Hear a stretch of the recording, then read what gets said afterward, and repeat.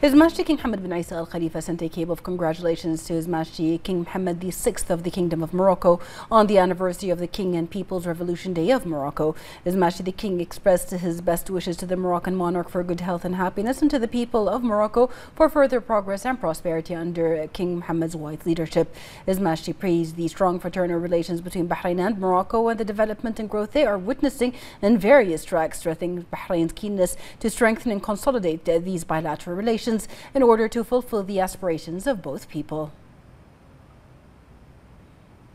His Royal Highness the Crown Prince and Prime Minister Prince Salman bin Hamad Al Khalifa sent a cable of congratulations to His Majesty King Mohammed VI of the Kingdom of Morocco on the occasion of the King and People's Revolution Day of Morocco. His Royal Highness sent two similar cables to the Crown Prince of Morocco, His Royal Highness Prince Moulay Hassan, and the Prime Minister of Morocco, Aziz Akhannouch.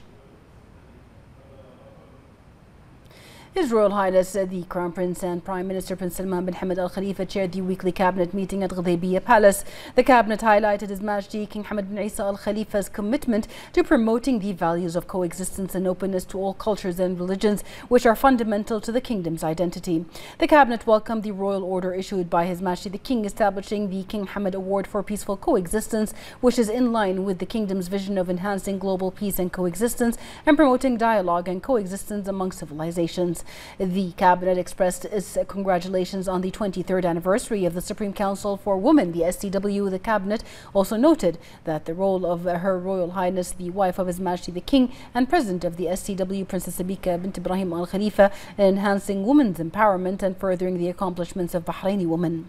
The cabinet commended Bahrain's international success at the Paris 2024 Olympics, including winning four medals, two gold, one silver and one bronze, adding to the kingdom's accomplishments across the sector. The cabinet congratulated all those for the Kingdom of Bahrain and Arab nations who supported Team Bahrain at the Olympics to achieve these impressive results, which alleviated the Arab accomplishments in the Olympics and international competitions. The cabinet emphasized Team Bahrain's commitment to enhancing the kingdom's international sports standing in light of the sports submitted by the Minister of Health on the cochlear implant program at the Salmania Medical Complex. The cabinet followed up on the, His Royal Highness's directives for the swift completion of cochlear implant surgeries for those on the waiting list. The report outlined the support provided by the concerned authorities in implementing these directives as well as details on the swift completion of the directives during August 2024, a move that furthers healthcare services for citizens.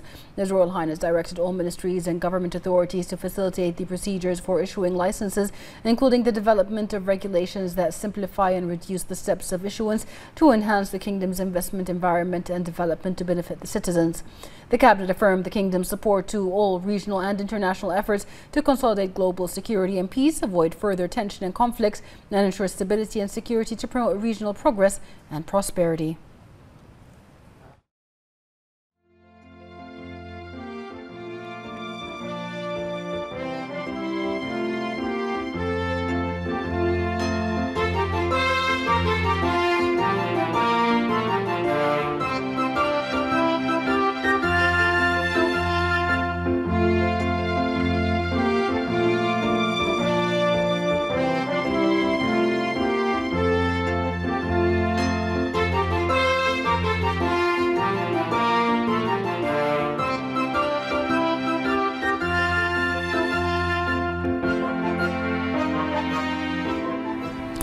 The Cabinet then approved the following. A memorandum submitted by the Government Executive Committee on the Government Priorities Framework 4.0. A memorandum submitted by the Government Executive Committee regarding several priority draft laws aimed at keeping pace with development needs that benefit citizens. A memorandum submitted by the Minister of Finance and National Economy regarding the annual report and audited financial statements of the Future Generations Reserve Fund for the fiscal year ending 31st of December 2023. The report outlined the total assets of the Future Generations Reserve Fund, which amounted to 768.9 million US dollars in 2023, an increase of 25.2% year on year. The report further revealed that the fund achieved a total gross income of $64 million and a positive return on average investments of 9.6%. A memorandum submitted by the Ministerial Committee for Financial and Economic Affairs and Fiscal Balance regarding the progress in developing 500 government services within seven months across 24 government entities. A memorandum submitted by the Ministerial Committee for Legal and Legislative Affairs on the government's response to five proposals submitted by the Council of Representatives. A memorandum submitted by the Minister of Housing and Urban Planning regarding a draft resolution on housing regulatory procedures. The changes made in the procedures aim to serve and benefit citizens in this field. The memorandum includes the cancellation of the condition that stipulates that a family shall not benefit from housing services if the wife inherits a property. The changed criteria will only include a review of the monthly salary income when granting a family the nomination certificate and the monthly salary income will not be reviewed again during the housing allocation process and a memorandum submitted by the Minister of Housing and Urban Planning drafting or regarding a draft resolution amending the regulatory requirements for construction housing project areas contributing to the possibility of expanding the building areas of the housing and residential units. The cabinet then took note of the ministerial report on the outcomes of the visit to Kuwait for the signing ceremony of the tourism cooperation agreement between Bahrain and Kuwait.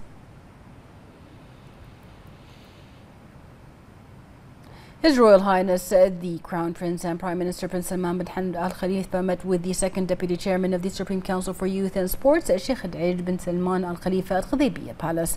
Sheikh Daij bin Salman presented a book titled The King, a Leader and Sports Pioneer to His Royal Highness, a gesture that was also appreciated by His Majesty the King's representative for humanitarian work and youth affairs Chairman of the Supreme Council for Youth and Sports, His Highness Sheikh Nasser bin Hamad Al Khalifa. His Royal Highness affirmed that the far-reaching visions and directives of His Majesty King Hamad bin Isa Al Khalifa form the basis of advancing the kingdom's sports sector.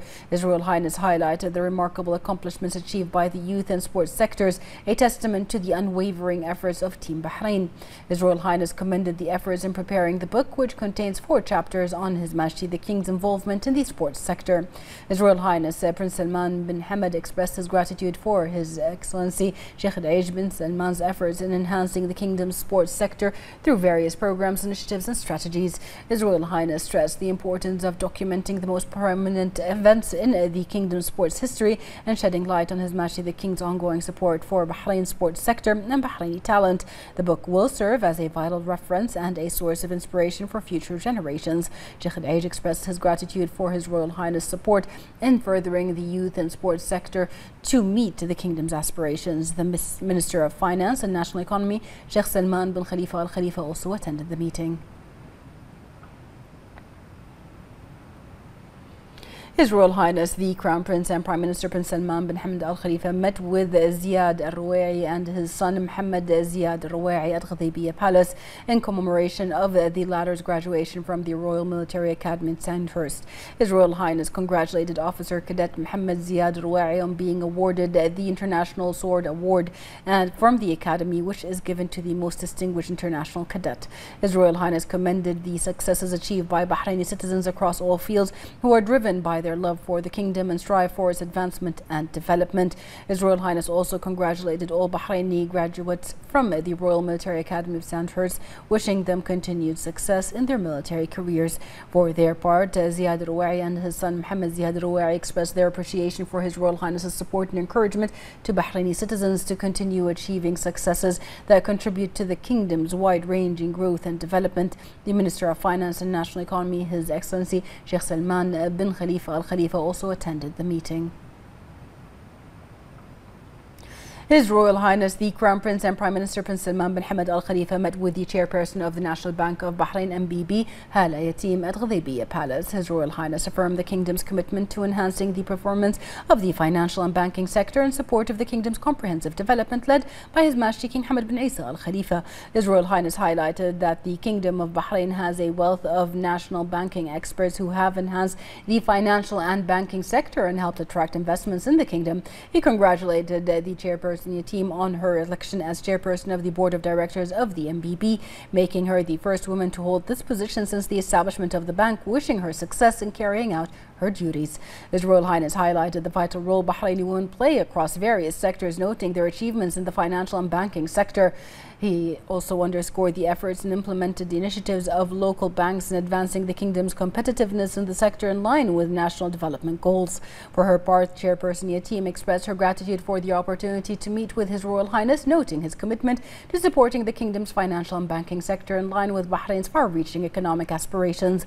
She further extended gratitude to His Royal Highness for congratulating her on her position, recognizing the kingdom's unwavering support to Bahraini citizens that have enabled them to excel across all sectors. The Minister of Finance and National Economy, Sheikh Salman bin Khalifa Al Khalifa, and the Chief of Executive, the Chief Executive of Bahrain Economic Development Board, Khalid Ibrahim Humaidan, also attended the meeting.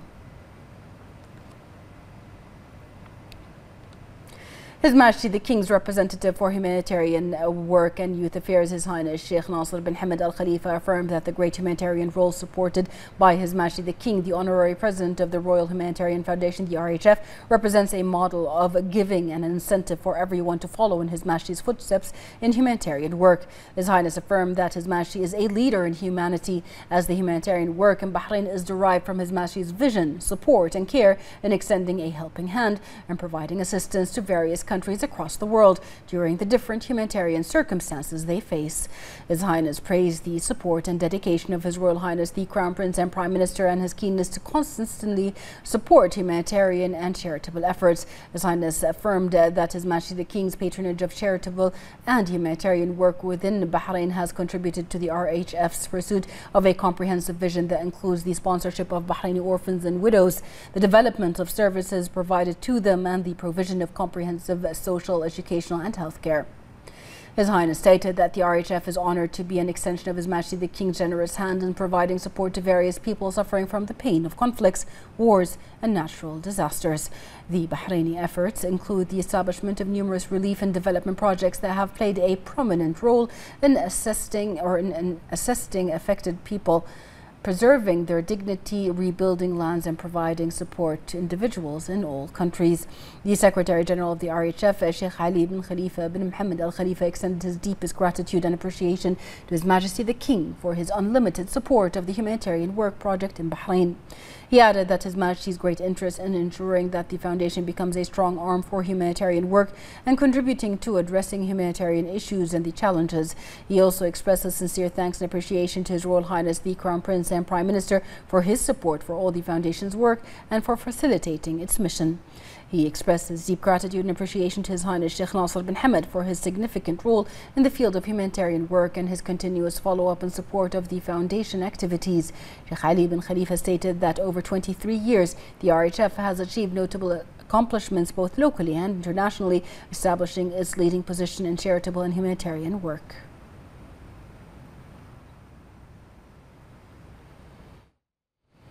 On World Humanitarian Day, the Speaker of the Council, Representative Ahmed Al Musallam, has affirmed that the royal vision of His Majesty the King, supported and followed up by His Royal Highness the Crown Prince and Prime Minister, is the cornerstone of the humanitarian work system and Bahrain's notable message to humanity.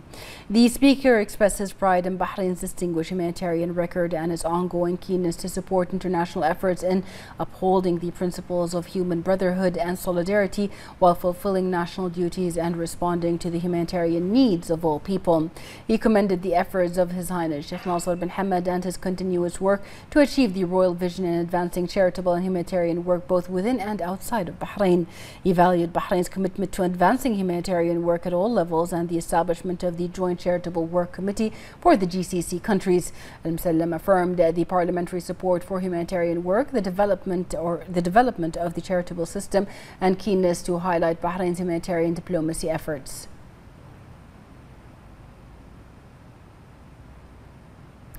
On the occasion of International Humanitarian Day, the chairman of the Shura Council, Ali Saleh, affirmed that Bahrain has set a distinguished example in comprehensive humanitarian initiatives and fruitful charitable projects reflecting the royal directives of His Majesty the King. The chairman praised the royal patronage and ongoing support from His Majesty the King for the Royal Humanitarian Foundation, the RHF work. He noted that Bahrain has become a model in noble humanitarian care and providing diverse relief aid to people affected by disasters, achieving a prominent position in humanitarian and charitable work. He expresses immense pride for the support and interest of His Royal Highness the Crown Prince and Prime Minister in Bahrain's humanitarian and charitable efforts. He praised the diligent efforts and significant ongoing initiatives of His Highness Sheikh Nasser bin Hamad in the field of charitable and humanitarian work. The Speaker of the Arab Parliament, Adel Al praised the efforts of the Kingdom of Bahrain led by His Majesty the King in supporting humanitarian work on the occasion of World Humanitarian Day. Al Asumi affirmed that Bahrain has taken serious and unprecedented steps in the field of humanitarian work, which has made it occupy a prominent position at the Arab regional and international levels. He stressed that the high royal vision of His Majesty the King represents a roadmap to support humanitarian work and a model to be emulated at all levels. He praised the support and care of His Royal Highness the Crown Prince and Prime Minister for the humanitarian and charitable work carried out by the Kingdom of Bahrain. The Kingdom of Bahrain joins the world in celebrating World Humanitarian Day amid a number of pioneering humanitarian initiatives, which comes in implementation of the directives of His Majesty the King to extend a helping hand to brotherly and friendly countries. More in this report.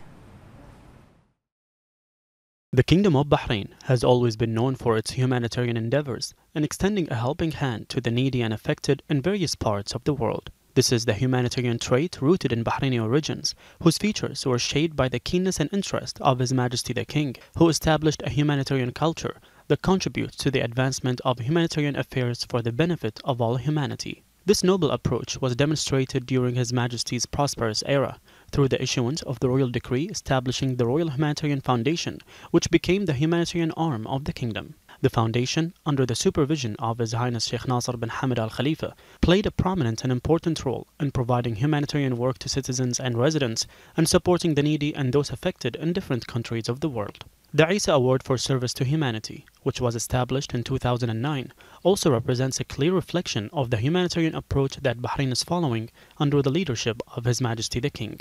On the occasion of the World Humanitarian Day, it is worth noting with pride the great humanitarian efforts undertaken by Team Bahrain under the leadership of His Royal Highness the Crown Prince and Prime Minister, based on the humanitarian vision that characterizes Bahrain to preserve humanity in various adversities and times through solidarity among all members of Team Bahrain. The mission of humanitarian work sponsored by the Kingdom of Bahrain is moving forward on the path of extending bridges of aid and distinguished humanitarian initiatives to various brotherly and friendly countries within the health, social, and educational relief campaigns, supporting global efforts to promote the values of humanitarian work and urging the international community and peoples to cooperate and achieve solidarity and interdependence for the sake of achieving world peace.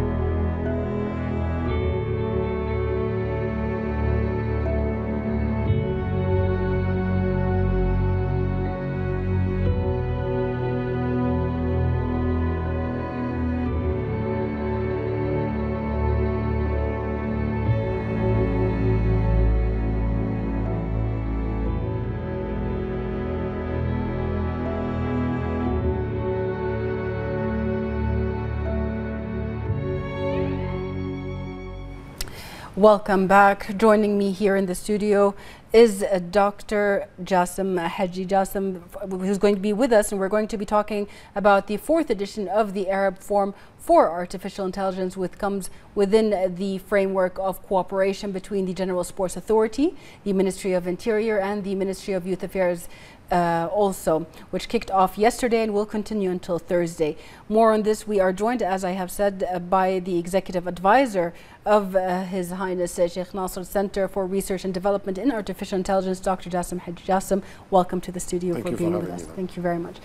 First off, Doctor, can you tell us a little bit about the importance of holding uh, this um, Arab uh, uh, artificial intelligence forum, especially that's being held in Bahrain?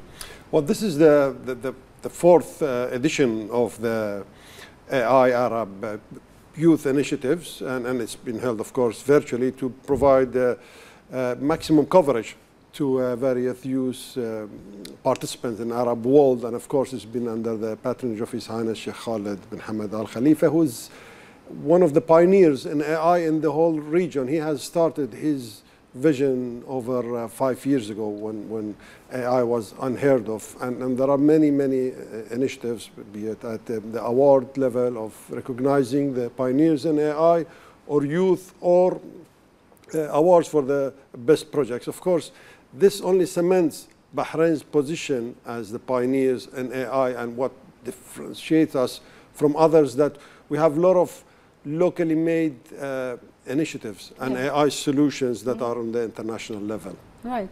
Um, what are uh, typically the topics that will be discussed during this forum and which will, will be focused on? Well, of course, the, the, the, main theme for the event was using AI in sports. Yeah.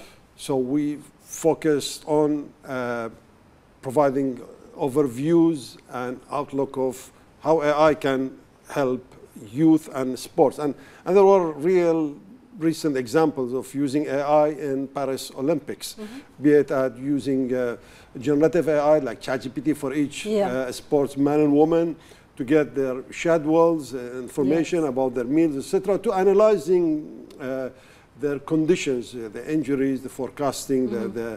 the, the, plans, using uh, assistant, what we call the coaches, that's the virtual assistants, yeah. or going to the refereeing and forecasting the even the, the theme for recovery of the, the players. But that, that was even taken further now to replacing somehow the, the VAR and the football games and all, all, all the other parts. So we had real good examples of AI, the, the practical examples yeah. to showcase and display them and provide the benefits of AI, the futuristic of generative AI, which is the topic. That's amazing. Uh, one thing Bahrain uh, is always good at doing is being at the forefront, and it has been at the forefront of applying artificial intelligence in most fields. Can you tell us a little bit about the efforts of the kingdom in the field of artificial intelligence specifically? Well, I, I first have to uh, include the initiatives of His Highness Sheikh Nasser's mm -hmm. Artificial Intelligence Research and Development Center, which uh, came to being three years ago. Yeah. And there are over 65 initiatives or projects related to AI that have been developed by young Bahraini men and women.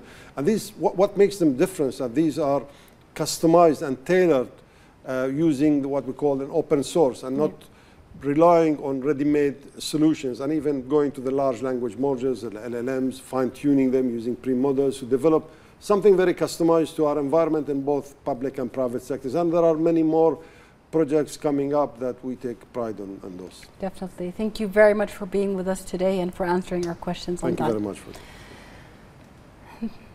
now, going on to our next topic, the La Labor Market Regulatory Authority, in coordination with the Central Bank of Bahrain and in cooperation with the private sector, began issuing the international bank account number IBAN for every expatriate worker in the Kingdom of Bahrain. More in this report. A new initiative added to the initiatives of the Labor Market Regulatory Authority regarding developing the work environment to ensure the rights of all parties with regards to facilitating the payment of wages through banking channels. The LMRA has begun issuing the International Bank Account Number, the IBAN, to every expatriate worker in the Kingdom of Bahrain. This initiative came out of the authorities' keenness to raise awareness of the importance of electronic banking transactions and providing a safe work environment that guarantees the rights of the employees and the employers. Additional facilities support business owners directly, especially since this process is done electronically, which ensures documentation of the record of payment transactions, reduces judicial disputes regarding the payment of wages, and speeds up the procedures for resolving the litigation file. Tamkeen announced support for increasing the wages of more than 1,000 Bahraini employees at the Bahrain Airport Service Company, which is equivalent to about 71% of the total Bahraini caterers working in the institution, in addition to supporting the training of 400 Bahraini employees, which contributes to achieving growth and increasing the competitiveness of the employees. The CEO of Tamkeen, Maha Mufiz, indicated that this support reflects Tamkeen's commitment to supporting the logistics sector in the kingdom and enhancing Bahrain's position as a leading destination in this field. The sector contributed 7.4% uh, to the GDP in 2023, making Bahrain a gateway to the GCC market. The chairman of the board of directors of Bahrain Airport uh, Company, Nabil Kanoo, said that the ongoing partnership between BAS and Tamkeen is a milestone in the company's development, which enhances the development and empowerment of national cadres.